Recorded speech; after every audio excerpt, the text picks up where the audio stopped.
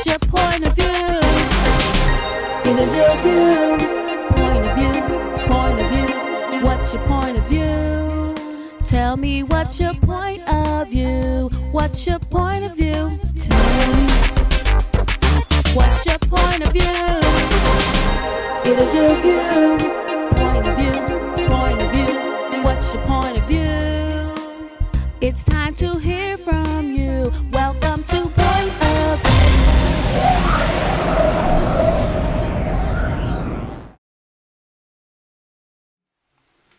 Hello, thank you for tuning in. We are here with Ahn-yea Graham at the Faces of Our Fathers Film Festival. Thank you for talking with us today, Anya. No problem, no problem. Tell us a little bit about yourself. Well, I'm a native of Chester. I'm currently attending Cheyney University, going into my senior year this fall. I will be graduating on time, May 2014. Congratulations. Thank you, thank you. Uh, I'm an honor student. I just ended my year as student government president, and I'm currently president of the Collegiate 100 chapter of 100 Black Men of America on campus Wow, at Cheyney University. at University. Cheyney University. That is Yes. awesome. So, what brought you to the festival today? Well, I'm very good friends with um, Butch Slaughter, and he invited me out, and me and him talked in the past and everything, and I really wanted to help him uh, with the film festival as much as I could and everything. Yeah. Being tied up at school, um, I see. Yeah, yes, being tied up at school uh, didn't really allow me to be as involved as I wanted to be, but he definitely still extended a hand and um, said to come out and everything. So Wow, that is awesome. You have a lot going on. And how old are you? I'm 21. 21 years old. Yes. Yes. Wow. and you're with the 100 Yes. Yes. And you're only President Collegiate 21. Yes. Yes. That is awesome. All right, so today um, with the festival and everything, um, they're going to show a couple films that's going to be talking about fathers. So, um, for my question would be, do share with um, us the importance of having a father in your life.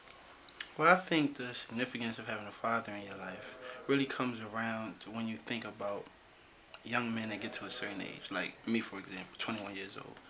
Uh, you really need a father in your life because it's certain things that your mom can teach you, and it's certain things that a dad just has to tell you because you interpret it differently. Yes. Um, me personally, I have a pretty good relationship with my father, and he has um, helped me grow up into a nice young man.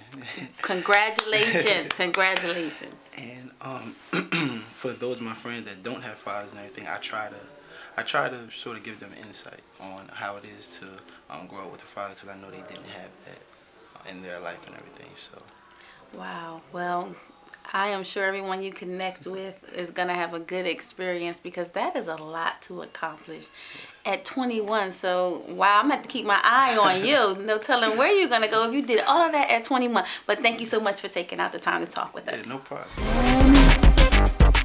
What's your point of view? It is your view. Point of view.